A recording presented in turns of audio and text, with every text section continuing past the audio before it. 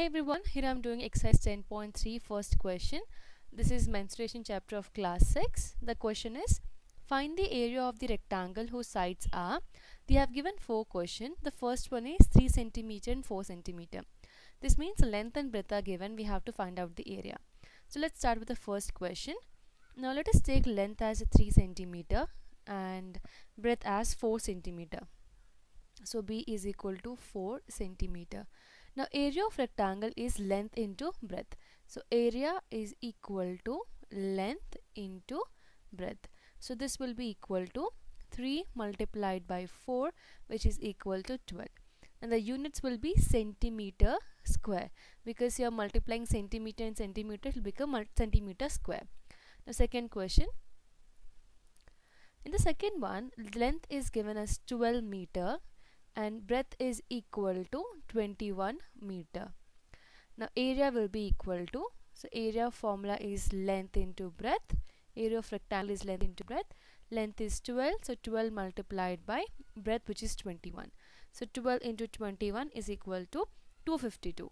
So we'll get 252 meter square. Then the next one, in the next one problem C, we have the units in kilometer. So length is equal to 2 kilometer and breadth is equal to 3 kilometer.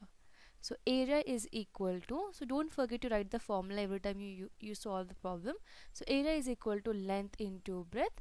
So length is 2 and breadth is uh, 3 so 2 3s are 6 so 6 kilometer square now in the next one, the fourth question, we have a different unit.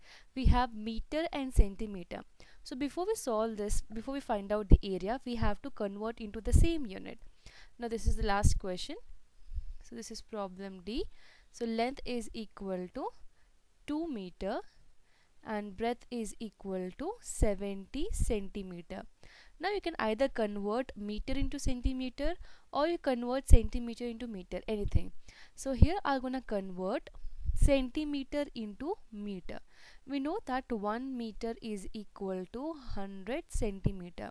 When you're converting smaller unit to the greater unit we have to divide now since 1 meter is equal to 100 centimeter we have to divide here with 100 so breadth will be equal to so b is equal to 70 divided by 100 so we have a two zeros in the denominator.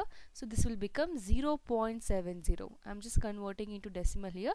So place decimal point from the right side. From the right side you have to after two digits you have to put decimal.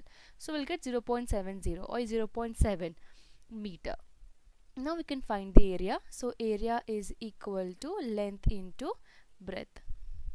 So length here is 2 meter. So 2 multiplied by breadth is 0 0.7 when we multiply this 2 we'll get 1.4 or you can write down 0 0.70 then 1.40 will get. If you don't write 0 then that is fine. So 1.40 meter square. So this is the first question. We have a four question they have given. We have solved we have got the area i hope this question is clear.